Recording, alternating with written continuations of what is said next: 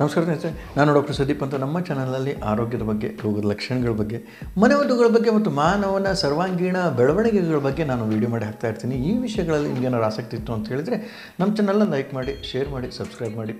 ಇವತ್ತಿನ ಒಂದು ವಿಷಯ ಬಹಳ ಯಾಕೆಂತ ಹೇಳಿದರೆ ಆರಾ ಕ್ಲೀನಿಂಗ್ ಬಗ್ಗೆ ನಾನು ಆಗಲೇ ಒಂದು ವಿಡಿಯೋ ಮಾಡಿ ಹಾಕಿದ್ದೀನಿ. ಆರಾ ಕ್ಲೀನಿಂಗ್ ಅಂತ ಹೇಳಿದರೆ ಸೆಳೋವಿನ ಶುದ್ಧೀಕರಣ ಬಹಳಷ್ಟು ಮುಖ್ಯವಾಗಿ ಮನುಷ್ಯನಿಗೆ ಬೇಕಾಗುತ್ತೆ. ಯಾಕೆ ಅಂತ ಹೇಳಿದರೆ ಬಹಳಷ್ಟು ರೋಗಗ್ರಸ್ತ ಸ್ಥಿತಿಗಳು ಈ ಸೆಳವಿನ ಅಶುದ್ಧತೆಯಿಂದ ಬರ್ತಕ್ಕಂಥದ್ದು, ಸ್ನೇಹಿತರೆ. ಹೀಗಾಗಿ ಒಂದು ವಿಧವನ್ನು ನಾನು ಹಿಂದಿನ ಒಂದು ವಿಡಿಯೋದಲ್ಲಿ ಹಾಕಿದ್ದೀನಿ. ಮೂರು ವಿಧಗಳನ್ನು ಸೆಳೋವಿನ ಶುದ್ಧೀಕರಣಕ್ಕೆ ಉಪಯೋಗಿಸ್ತಕ್ಕಂಥ ಮೂರು ವಿಧಗಳನ್ನು ಈ ಒಂದು ವಿಡಿಯೋದಲ್ಲಿ ತಿಳ್ಕೊಳ್ಳೋಣ, ಸ್ನೇಹಿತರೆ.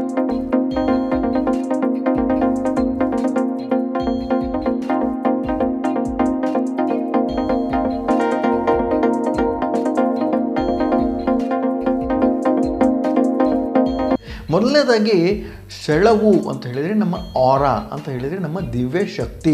ಈ ದಿವ್ಯ ಶಕ್ತಿ ಬಹಳಷ್ಟು ಬಲಿಷ್ಠವಾಗಿ ಏನಾದ್ರು ಇತ್ತು ಅಂತ ಹೇಳಿದರೆ ನಮಗೆ ರೋಗಗ್ರಸ್ತ ಸ್ಥಿತಿಯನ್ನು ತಂದುಕೊಡಲ್ಲ ಅಂತ ಹೇಳಿದರೆ ನಮಗೆ ಆರೋಗ್ಯವನ್ನು ತಂದುಕೊಡುತ್ತೆ. ನಮ್ಮ ರೋಗ ನಿರೋಧಕ ಶಕ್ತಿಯನ್ನು ಬಹಳಷ್ಟು ಹೆಚ್ಚುಗೊಳಿಸುತ್ತೆ ಸ್ನೇಹಿತರೆ.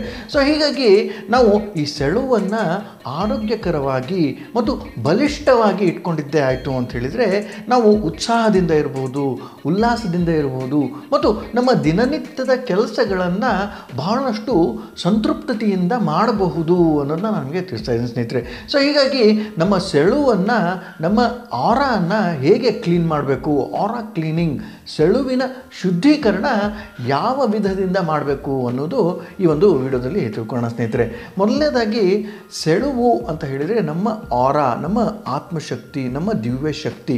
ಈ ಒಂದು ಶಕ್ತಿ ಎಲ್ಲಿದೆಯಪ್ಪ ಅಂತ ಹೇಳಿದರೆ ನಮ್ಮ ಸುತ್ತಮುತ್ತಲಿನ ಒಂದು ವಾತಾವರಣದಲ್ಲಿ ಇದೆ ಅಂತ ನಾನು ನಿಮಗೆ ತಿಳಿಸ್ತಾ ಇದ್ದೀನಿ ಸ್ನೇಹಿತರೆ. ಸೊ ಹೀಗಾಗಿ ನಮ್ಮ ಸುತ್ತಮುತ್ತಲಿನ ವಾತಾವರಣವನ್ನು ನಾವು ಶುಚಿಯಾಗಿಟ್ಟಿದ್ವಿ. ನಾವು ಅದನ್ನು ಬಹಳಷ್ಟು ಆರೋಗ್ಯಯುತವಾಗಿಟ್ಟಿದ್ವಿ. ಬಹಳಷ್ಟು ಚೊಕ್ಕವಾಗಿಟ್ಟಿದ್ವಿ ಅಂತಂದ್ರೂ ಸಹಿತ ನಮ್ಮ ಸೆಳವು, ನಮ್ಮ ಆರ ಬಹಳಷ್ಟು ಬಲಿಷ್ಠವಾಗಿರುತ್ತೆ ಮತ್ತು ಬಹಳಷ್ಟು ಆರೋಗ್ಯಕರವಾಗಿರುತ್ತೆ.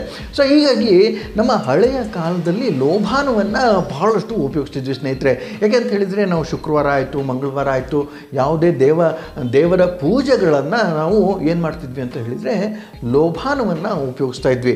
ಈ ಒಂದು ಲೋಭಾನವೂ ಸಹಿತ ನಮ್ಮ ಒಂದು ಸೆಳುವಿನ ಶುದ್ಧೀಕರಣಕ್ಕೆ ಬಹಳಷ್ಟು ಉಪಯೋಗಿಸ್ತಾ ಇದ್ವಿ. ನಾವು ಹಿಂದಿನ ಕಾಲಕ್ಕೆ ನಾವೇನಾದ್ರು ಹೋದ್ವಿ ಅಂತ ಹೇಳಿದರೆ, ಈಗ ಬಾಣಂತಿಯರಿಗೆ ಈ ಲೋಭಾನದಿಂದ ಬಹಳಷ್ಟು ಉಪಚಾರವನ್ನು ಮಾಡ್ತಾಯಿದ್ರು ಸ್ನೇಹಿತರೆ. ಯಾಕೆ ಅಂತ ಹೇಳಿದರೆ, ಇದು ಆರಾ ಕ್ಲೀನಿಂಗಲ್ಲಿ ಬಹಳಷ್ಟು ಉಪಯೋಗಕಾರಿ ಅಂತ ಹೇಳಿದರೆ ನಮ್ಮ ಸೆಳುವಿನ ಒಂದು ಬಲಿಷ್ಠತೆಗೆ ಬಹಳಷ್ಟು ಉಪಯೋಗಕಾರಿ ಸ್ನೇಹಿತರೆ. ನಮ್ಮ ಸೆಳುವು, ನಮ್ಮ ದಿವ್ಯ ಶಕ್ತಿ ನಮ್ಮ ಆತ್ಮಶಕ್ತಿ ಏನಾದ್ರು ಬಹಳಷ್ಟು ಗಟ್ಟಿ ಇತ್ತು ಅಂತ ಹೇಳಿದರೆ ನಮ್ಮ ರೋಗ ನಿರೋಧಕ ಶಕ್ತಿ ಬಹಳಷ್ಟು ಉನ್ನತವಾಗಿ ಇರುತ್ತೆ, ಬಹಳಷ್ಟು ಗಟ್ಟಿಯಾಗಿರುತ್ತೆ, ಬಲಿಷ್ಠವಾಗಿರುತ್ತೆ ಅನ್ನೋದನ್ನ ನಾನು ನಿಮಗೆ ತಿಳಿಸ್ತಾ ಇದ್ದೀನಿ ಸ್ನೇಹಿತರೆ. ಸೊ ಹೀಗಾಗಿ ನಾವು ಲೋಭಾನವನ್ನು, ಯಾವುದೇ ತರಹದ ಒಂದು ಗಂಧವನ್ನು ನಾವು ಉಪಯೋಗಿಸ್ತಾ ಇದ್ವಿ.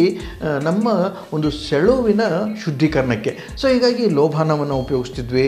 ಮತ್ತು ಬಹಳಷ್ಟು ಪರ್ಫ್ಯೂಮ್ಸ್ ಅಂತ, ಬಹಳಷ್ಟು ಎಸೆನ್ಷಿಯಲ್ ಆಯಿಲ್ಸ್ ಅಂತ ಹೇಳಿದರೆ ನಮ್ಮ ಮನಸ್ಸಿಗೆ, ನಮ್ಮ ದೇಹಕ್ಕೆ ಮತ್ತು ನಮ್ಮ ಪೂರ್ತಿಯಾದ ಆರಾನ್ನ ಕ್ಲೀನ್ ಮಾಡೋಕ್ಕೆ ನಾವು ಈ ಒಂದು ವಸ್ತುಗಳನ್ನು ಉಪಯೋಗಿಸ್ತಾ ಇದ್ವಿ. ಒಂದು ಎಸೆನ್ಷಿಯಲ್ ಆಯಿಲ್ ಉಪಯೋಗಿಸ್ತಿದ್ವಿ, ಮತ್ತು ಧೂಪವನ್ನು ಉಪಯೋಗಿಸ್ತಾ ಇದ್ವಿ. ಮತ್ತು ಇನ್ನೂ ಒಂದು ಏನಪ್ಪ ಅಂತ ಹೇಳಿದರೆ, ನಮ್ಮ ಪೂರ್ತಿಯಾದ ಮನೆ ಮತ್ತು ಪೂರ್ತಿಯಾದ ಒಂದು ವಾತಾವರಣವನ್ನು ಶುಚಿಯಾಗಿ, ಶುದ್ಧವಾಗಿ ಮತ್ತು ಬಹಳಷ್ಟು ಶಕ್ತಿಯುತವಾಗಿ ಇಡಲಿಕ್ಕೆ ಪ್ರಯತ್ನ ಮಾಡ್ತಿದ್ವಿ ಸ್ನೇಹಿತರೆ. ಸೊ ಹೀಗಾಗಿ ಆರಾ ಕ್ಲೀನಿಂಗಲ್ಲಿ ನಮ್ಮ ದೇಹದ ಒಂದು ಶುದ್ಧೀಕರಣವಷ್ಟೇ ಅಲ್ಲ, ನಮ್ಮ ವಾತಾವರಣವನ್ನು ಶುದ್ಧೀಕರಿಸಿದ್ದೇ ಆಯಿತು ಅಂತ ಹೇಳಿದರೆ, ವಾತಾವರಣವನ್ನು ಸರಿಯಾಗಿ ಶುದ್ಧೀಕರಣವಾಗಿ ಮಾಡಿಕೊಟ್ಟಿದ್ದೇ ಆಯಿತು ಅಂತ ಹೇಳಿದರೆ, ನಮ್ಮ ದೇಹಾರೋಗ್ಯ, ಮನಸ್ಸಿನ ಆರೋಗ್ಯ ಮತ್ತು ನಮ್ಮ ದೇಹದ ಬಹಳಷ್ಟು ರೋಗಗಳನ್ನು ದೂರ ಅನ್ನೋದನ್ನು ಅನ್ನೋದನ್ನ ನಿಮಗೆ ತಿಳಿಸ್ತಾ ಇದ್ದೀನಿ ಸ್ನೇಹಿತರೆ. ಒಂದು ಎಸೆನ್ಷಿಯಲ್ ಆಯಿಲಿಂದ ಮಾಡ್ಬೋದು, ಒಂದು ಧೂಪದಿಂದ ಮಾಡ್ಬೋದು ಮತ್ತು ನಾವು ಲೋಭಾನದಿಂದ ಸಹಿತ ನಾವು ಆರ ಸೆಳವನ್ನು ಬಹಳಷ್ಟು ಆರೋಗ್ಯಕರವಾಗಿ ಮಾಡ್ತಾಯಿದ್ವಿ ಸ್ನೇಹಿತರೆ. ಇನ್ನೂ ಒಂದು ಬಹಳ ಮುಖ್ಯವಾದ ಒಂದು ವಿಧ ನಮ್ಮ ಆರಾ ಕ್ಲೀನಿಂಗ್ ಅಥವಾ ಸೆಳುವಿನ ಶುದ್ಧೀಕರಣ ಅಂತ ಹೇಳಿದರೆ ಧ್ಯಾನ. ಸೊ ನಾವು ಹಳೆ ಕಾಲದಲ್ಲಿ ಬಹಳಷ್ಟು ಗುರುಕುಲಗಳಲ್ಲಿ ಮತ್ತು ನಮ್ಮ ವಿದ್ಯಾ ಒಂದು ಸಂಸ್ಥೆಗಳಲ್ಲಿ ಧ್ಯಾನವನ್ನು ಹೇಳ್ಕೊಡ್ತಾ ಇದ್ರು. ಧ್ಯಾನ ಅಂತ ಹೇಳಿದರೆ ಇದು ಒಂದು ಮನಸ್ಸಿನ ಶೂನ್ಯದ ಸ್ಥಿತಿ. ಸೊ ಹೀಗಾಗಿ ಈ ಧ್ಯಾನವನ್ನು ಯಾರು ಮಾಡ್ತಾರೆ? ಅವರ ಸೆಳುವು, ಅವರ ದಿವ್ಯಶಕ್ತಿ, ಅವರ ಆತ್ಮಶಕ್ತಿ ಬಹಳಷ್ಟು ಬಲಿಷ್ಠವಾಗಿರುತ್ತೆ ಸ್ನೇಹಿತರೆ. ಸೊ ಹೀಗಾಗಿ ನಾವು ದಿನಕ್ಕೆ ಒಂದು ಹತ್ತರಿಂದ ಹದಿನೈದು ನಿಮಿಷ ಏನಾದರೂ ನಾವು ಜ್ಞಾನಗ್ರಸ್ತವಾದ್ವಿ, ನಾವು ಜ್ಞಾನದ ಒಂದು ಪದ್ಧತಿಯನ್ನು ಉಪಯೋಗಿಸಿದ್ವಿ ಅಂತ ಹೇಳಿದರೆ ನಮ್ಮ ಆತ್ಮದ ಶಕ್ತಿ, ಸೆಳುವಿನ ಶಕ್ತಿ ಮತ್ತು ನಮ್ಮ ರೋಗ ನಿರೋಧಕ ಶಕ್ತಿ ಬಹಳಷ್ಟು ಬಲಿಷ್ಠವಾಗುತ್ತೆ ಅನ್ನೋದನ್ನ ನಾನು ನಿಮಗೆ ತಿಳಿಸ್ತಾ ಇದ್ದೀನಿ ಸ್ನೇಹಿತರೆ. ಈ ಮೂರು ಪದ್ಧತಿಗಳು ಅಂತ ಹೇಳಿದರೆ ಆರಾ ಕ್ಲೀನಿಂಗಲ್ಲಿ ಒಂದು ಉಪ್ಪನ್ನು ಉಪಯೋಗಿಸ್ಬೇಕು ಅಂತ ನಾನು ಹಿಂದಿನ ಒಂದು ವಿಡಿಯೋದಲ್ಲಿ ಹೇಳಿದ್ದೀನಿ. ಇನ್ನೂ ಒಂದು ಎಸೆನ್ಷಿಯಲ್ ಆಯಿಲ್ಸ್ ನಮ್ಮ ಸ್ನಾನದ ನೀರಿನಲ್ಲಿ ಹಾಕಿ ಅದನ್ನು ನಾವು ದೇಹವನ್ನು ಶುದ್ಧಿಗಳ, ಶುದ್ಧೀಕರಣಗೊಳಿಸಿದೆ ಆಯಿತು ಅಂತ ಹೇಳಿದರೆ ನಮ್ಮ ಆರಾ ಅಂತ ನಮ್ಮ ಸೆಳವು ಬಹಳಷ್ಟು ಬಲಿಷ್ಠವಾಗುತ್ತೆ. ಎರಡನೇ ವಿಧಾನ. ಮೂರನೇ ವಿಧಾನ, ಲೋಭಾನದಿಂದ ಸಹಿತ ನಮ್ಮ ಒಂದು ಮನೆ ಮತ್ತು ಒತ್ತು ವಾತಾವರಣವನ್ನು ಶುದ್ಧೀಕರಣಗೊಳಿಸಿದ್ದೇ ಆಯಿತು ಅಂತ ಹೇಳಿದರೆ ನಮ್ಮ ಒಂದು ಆರ ನಮ್ಮ ಒಂದು ಸೆಳವು ಬಹಳಷ್ಟು ಬಲಿಷ್ಠವಾಗಿರುತ್ತೆ ಅನ್ನೋದನ್ನ ನಾನು ನಿಮಗೆ ತಿಳಿಸ್ತಾ ಇದ್ದೀನಿ ಸ್ನೇಹಿತರೆ. ಇವು ಮೂರು ಅಲ್ಲದೆ ನಾಲ್ಕನೇ ವಿಧ ಅಂತ ಹೇಳಿದರೆ ಇದು ನಮ್ಮ ಮಾನಸಿಕ ಮತ್ತು ದೈಹಿಕ ಆರೋಗ್ಯವನ್ನು, ವಾತಾವರಣವನ್ನು ಸರಿಯಾಗಿ ಬಲಿಷ್ಠವಾಗಿ ಇಡಲಿಕ್ಕೆ ಬಹಳಷ್ಟು ಉಪಯೋಗಕಾರಿ ಅಂತ ಹೇಳಿದರೆ ಧ್ಯಾನ.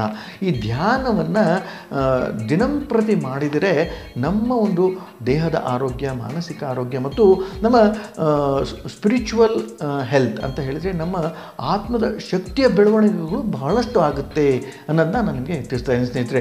ಇದಿಷ್ಟು ಇದಿಷ್ಟು ವಿಷಯಗಳು ನಮ್ಮ ಒಂದು ಸೆಳುವಿನ ಆರೋಗ್ಯಕ್ಕೆ, ನಮ್ಮ ಒಂದು ಸೆಳುವಿನ ಶುದ್ಧೀಕರಣಕ್ಕೆ ಈ ಒಂದು ವಿಡಿಯೋ ನಿಮಗೆ ಏನಾದ್ರು ಲೈಕ್ ಆಯಿತು ಅಂತ ಹೇಳಿದರೆ ನಮ್ಮ ಚಾನಲ್ನ ಲೈಕ್ ಮಾಡಿ ಶೇರ್ ಮಾಡಿ ಸಬ್ಸ್ಕ್ರೈಬ್ ಮಾಡಿ, ಯಾವುದೇ ಥರದ ಪ್ರಶ್ನೆಗಳಿತ್ತು ಅಂತ ಹೇಳಿದರೆ ಕಾಮೆಂಟ್ ಸೆಕ್ಷನಲ್ಲಿ ಹಾಕಿ ಉತ್ತರಿಸಲಿಕ್ಕೆ ನಾನು ಪ್ರಯತ್ನ ಮಾಡ್ತೀನಿ ಸ್ನೇಹಿತರೆ.